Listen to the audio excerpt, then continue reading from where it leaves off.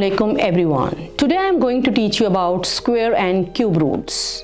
In this lesson, students will learn how to describe principal roots and tell if they are rational or irrational numbers.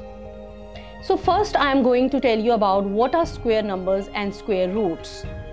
So the product of a number when multiplied by itself is called square numbers. For example, 1 into 1 is 1, 2 into 2 is 4, 3 into 3 is 9 and 4 into 4 is 16 and so on. So if a number is multiplied by itself, those numbers are called square numbers.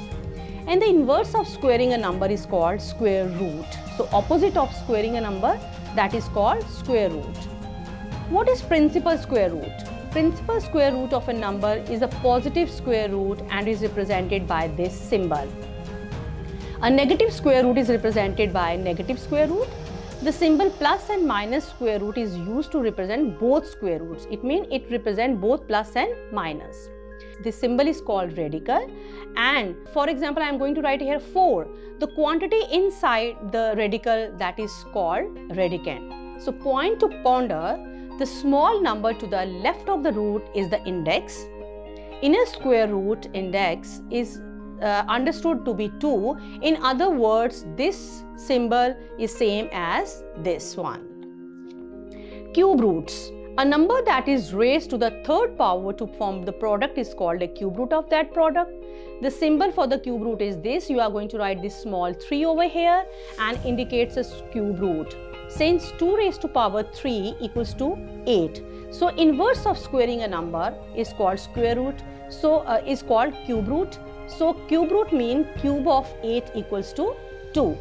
Point to ponder the symbol for the cube root is this one. So we are going to write cube. In square root we don't mention 2 over there. But in cube root we mention 3 over here. What is a square root? Let's identify if a number is a perfect square or not a perfect square. For example, 16 is a perfect square but 21 is not a perfect square.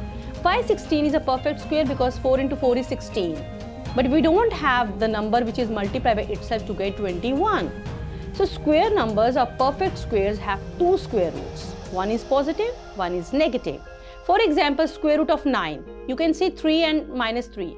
The square root of 9 is 3 and minus 3 because 3 times 3 is 9 and minus 3 times minus 3 is 9. Same goes with 64. Square root of 64, 8 and minus 8 because 8 times 8 is 64 and minus 8 into minus 8 is 64.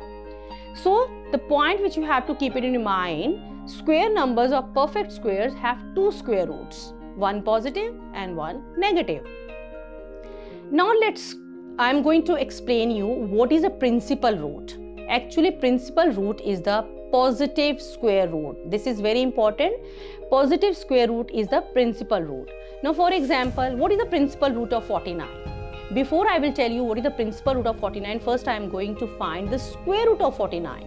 So what is the square root of 49? That is 7 and minus 7 you know. So two square roots are there positive and negative. Remember the principal root is the positive square root. So its answer is 7. Its answer is 7 not minus 7. Let's have one more example. 64. So what is the square root of 64? That is 8 and minus 8. Yes, you can see over here 8 and minus 8 is the square root of 64 because two square roots are there. One is positive, one is negative. But what is the principal root? That is a positive principal root is the positive uh, root. So the answer is 8 rational or irrational. Now you are going to tell me that if principal root is rational or irrational. So principal root may be rational or irrational. Rational are numbers that can be expressed as a quotient a over b of two integers. And irrational are numbers that cannot be represented as quotient of a and b of two integers. To determine whether principal root is rational or irrational, determine if the radicand is a perfect square or not. Let's have few examples. Principal root is rational or irrational. If the radicand is a perfect square, then the principal root is a rational. If the radicand is not a perfect square, then the principal root is irrational. So for example, square root of 25 is 5 or minus 5. And you know the principal root is 5, positive. That is the principal root. Now you have to tell whether it's rational or irrational. Yes, it's rational because it's a perfect square. That's why it's a rational. So the point to note, if the radicand is a perfect square, then the principal root is a rational. Now, let's solve few more examples. State whether the given radicand is rational or irrational. Square root of 4, that you know 2 into 2, so it's a rational because it's a perfect square. Square root of 49, is it a perfect square? Yes, it's a perfect square, so it's a rational.